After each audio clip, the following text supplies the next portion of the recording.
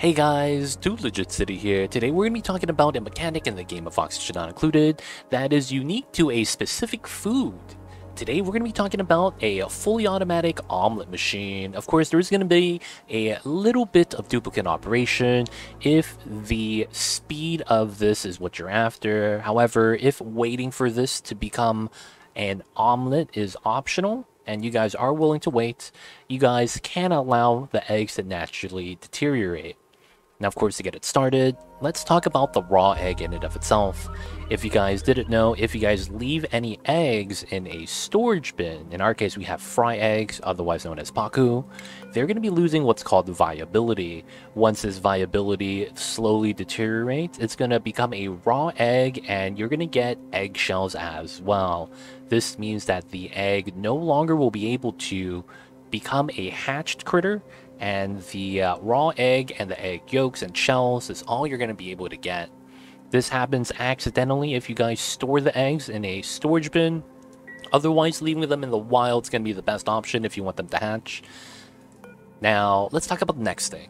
When creating an omelet, the raw egg component is going to be the most important factor as the volume of the raw egg in grams is going to determine how many omelets we can make going over the different types of critters. Let's start at the top with the pinchero. As you can see, a lot of these critter eggs, as you can see right here, is a thousand grams of both eggshell and the raw egg. And there's seemingly no difference between the different eggs. Now that we get to the shine nymphs though, and everything part of the shine bug tree, we're only going to have a 100 grams of both. That means the shine bugs are arguably the worst source of raw egg or eggshells compared to the other critters, whilst everything only gives you a thousand of each. Of course, not until we get to the Pacu tree. The Gulp Fry, Tropical Fry, and the regular Pacu all give you 2,000 grams instead of 1,000. And as we go down the line, it's still around 1,000 for everything else, 250 from the Puftlet tree, and in our case, the Pacu eggs are going to be the best option. Now, let's actually look at the omelets cooking process. As you can see right here, each 1000 grams of raw egg becomes 2800 kcals of omelets. This turns a unedible food into a edible food and you get a good amount of calories to boot. That means that our one Pacu egg that gives us 2000 grams gives us 5600 kcals of edible food that the dupes can enjoy. Not only that, if you were to compare the cooked fish and the fish fillet, it is a lot more calories than the 1,600 we would have gotten instead. Now let's get to the cooking process. How does a raw egg become an omelet without a duplicant cooking it at the grill? Answer is easy. If you guys didn't know, if you guys heat up the raw egg and have it actually go into a hot environment, it has a unique mechanic as it goes through state change. The raw egg in and of itself, if heated up past 72 degrees Celsius, actually becomes an omelet naturally. This is a unique ability for the raw egg as this is the only food source edible or raw that goes through this process to become a cooked variant of itself. No other food does this, so although you guys can choose to try this with the pacu fillet, the meat, anything else, only the raw egg goes through that state change.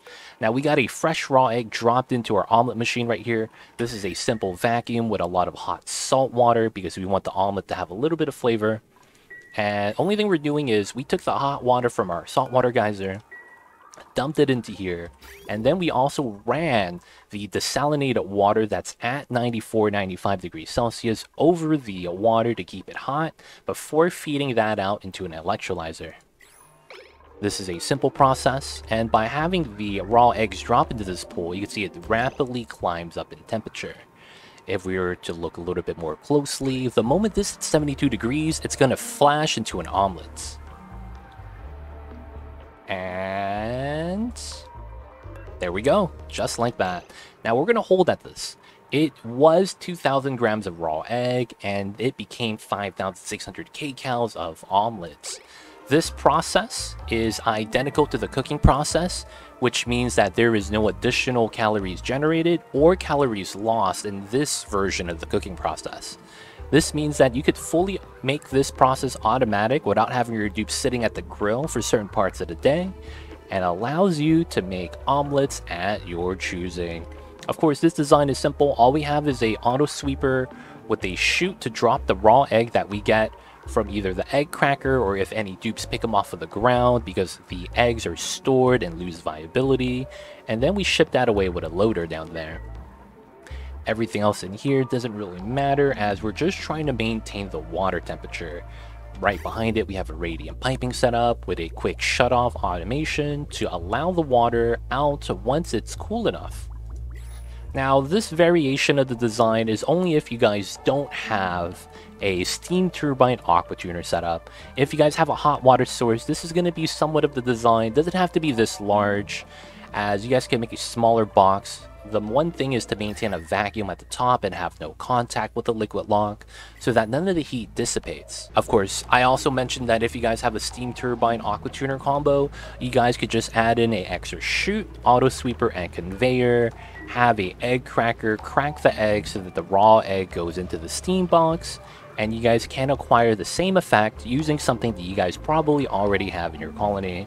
Because of the amount of kcals this generates, it's a good source of food, especially if you farm Pacus, because of the Pacus are going to be laying an egg, one egg every 1.5 cycles.